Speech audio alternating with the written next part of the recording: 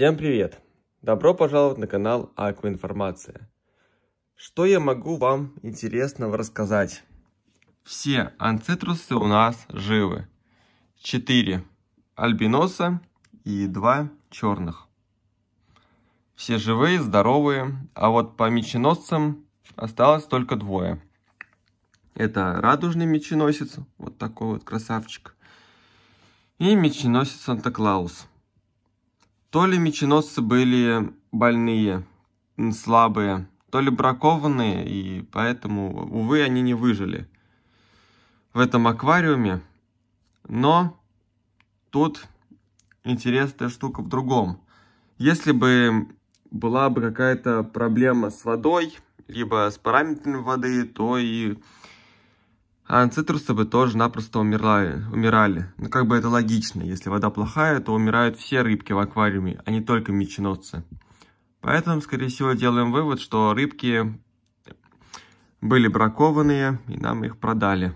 Увы, и такое бывает. Ну, а так, в принципе, все прекрасно. Анцитрусы живут, кушают, развиваются. Пока еще не сильно понятно, где самцы, где самочки.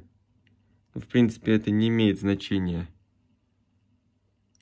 Но такие они у нас красавчики.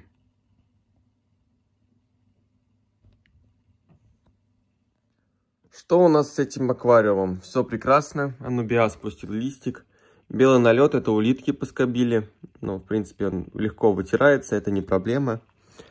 Также у нас росток небольшой криптокарины начал расти. Также у маленького анубиаса тоже появился первый зеленый небольшой листик.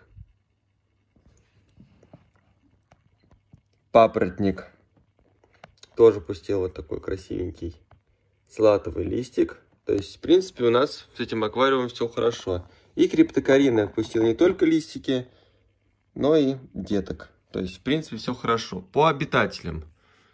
По обитателям все прекрасно, в принципе. Вот все Мелании.